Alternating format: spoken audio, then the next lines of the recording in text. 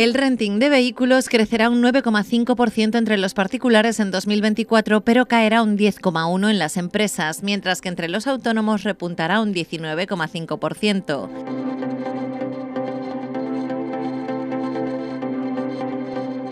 En términos generales, el renting ganará fuerza este año con una estimación de crecimiento del 6,3, marcando un récord de interés entre particulares y autónomos en 2024.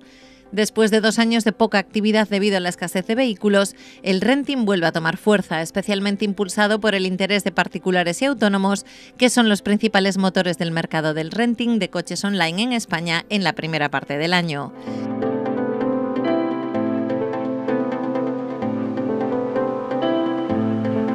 Las matriculaciones de coches nuevos muestran que el diésel ha sido casi completamente desplazado en los turismos y todoterrenos vendidos en España. En el primer cuatrimestre, según datos de ANFAC, solo el 9,9% de los coches matriculados utilizaban gasóleo.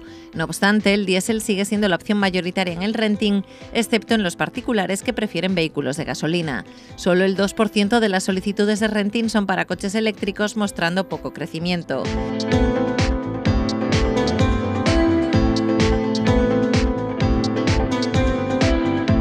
Las empresas son las que más están apostando por la electrificación mediante el renting.